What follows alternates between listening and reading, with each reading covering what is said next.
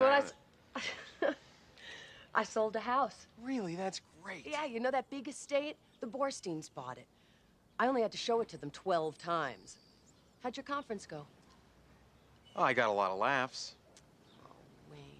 I failed, Diane. I, I'm, I'm just gonna get my old job back, if I can get my old job back. But from now on, things are gonna be different. Different. Right. Where are the kids? I haven't seen them since I left this morning. Did you tell them I was coming home? Yeah, that's why they clean things up. I see. Oh, they're probably just at the mall. You want to hear something strange? My thinking couch is missing. The one from the attic? Yeah,